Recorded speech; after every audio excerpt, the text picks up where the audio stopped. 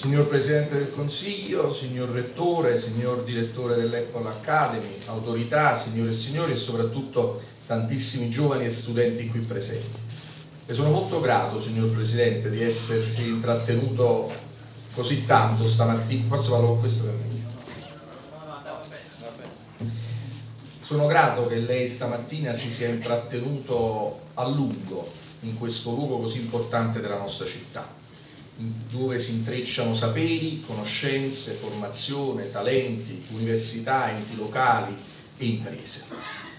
Questa è una città pronta a una serie di sfide, anche alla sfida di saper coniugare innovazione, tecnologia, digitalizzazione, ma anche la sfida di non dover più scegliere tra diritto all'industria e diritto alla salute. Nel terzo millennio credo che possiamo porci l'obiettivo che la persona è al centro e quindi ogni tecnologia deve essere a servizio della persona, dei diritti alla vita, un ambiente salubre e Napoli ha tutte le caratteristiche per eh, affrontare questa sfida, per una serie di ragioni. Ne cito alcune molto brevemente. La prima è che se oggi negli ultimi anni tanti vengono nella nostra città evidentemente sta accadendo qualcosa. Sicuramente c'è l'energia di cui si parlava poc'anzi, c'è la sofferenza che ti stimola a valutare la crisi anche come un'opportunità, c'è la voglia di mettersi in gioco, c'è la formazione di quell'autonomia che non pensa che il destino debba venire dall'alto, ma che siamo noi che ci stiamo costruendo il nostro futuro. Signor Presidente, Napoli con tutte le migrazioni è la città d'Europa con il maggior numero di bambini e giovani. Vi do anche qualche dato, che non è dato del Comune di Napoli, ma dell'Associazione Nazionale dei Comuni Italiani. Nel 2018 Napoli ha registrato dopo due anni consecutivi la maggior crescita per offerta culturale e turistica siamo la terza, la terza città per start-up giovanili, superando Bologna e Torino, e come lei sa sono città anche più ricche, molto meglio finanziate. Quindi nella nostra città sta accadendo sicuramente qualcosa di importante e allora colgo l'opportunità della sua visita per fare tre brevi considerazioni che possono essere utili alla nostra città e non solo.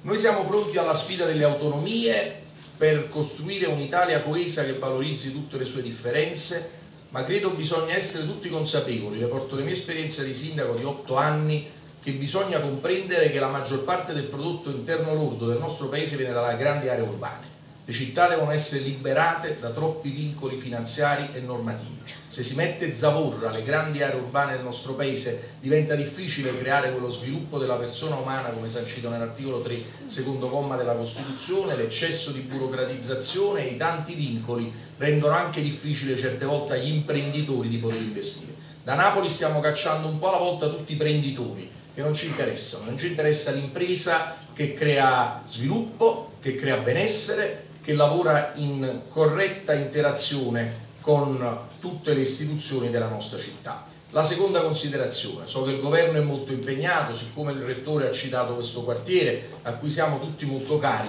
io penso che sia assolutamente inaccettabile e inqualificabile che una grande multinazionale con una X cancelli dall'oggi al domani un'azienda di Viargine a Ponticelli cancellando 420 posti di lavoro. Come lei sa in questa zona le industrie non sono tante, Napoli non è solo la città dell'università, della cultura, dell'umanità, del, anche dell'onestà, perché qua ci impegniamo con le mani pulite, è anche la città dell'industria, come ha potuto vedere stamattina. Io credo che con il suo impegno autorevole e con la sua sensibilità si può dimostrare che se una multinazionale prende impegni qualche mese fa nella nostra area può mantenere, perché quei 420 posti di lavoro significano industrializzazione della città, significano competenze, professionalità e significa anche non fare un regalo alla Camurra perché se si desertifica un'area complessa come l'area orientale di Napoli sicuramente il crimine sarà pronto a investire. Una terza e chiudo. Napoli città dei giovani tra qualche giorno ospita, grazie a una sinergia istituzionale importante da parte di tutti nella nostra città,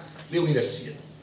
Sappiamo che una, la capitale d'Italia ritenne di non ospitare le Olimpiadi, le Universiadi dopo le Olimpiadi sono l'evento sportivo più importante del mondo. Avremo 8.000 atleti, tantissime persone, 128 nazioni, 100 televisioni, mi auguro che anche l'attenzione del governo si alta nei prossimi giorni perché il nostro obiettivo, e siamo anche lieti che tra qualche giorno verrà il Santo Padre nella nostra città, è dimostrare che questa può essere anche la città dell'umanesimo, quindi sarà in quei giorni in particolare la città dei giovani la città della cultura e la città della pace. Io credo che Napoli, nel cuore del Mediterraneo, o costruire ponti che vanno nella direzione di considerare le eccellenze della nostra città i giovani e con queste sfide togliamo anche l'alibi a chi dice che non c'è alternativa alle stese, alla camorra, alle devianze al degrado. Presidente, a Napoli i problemi sono tanti, le sofferenze pure, i problemi si accavallano ogni giorno, ma non penso, non perché faccio il sindaco, perché ho scelto comunque a prescindere di vivere a Napoli,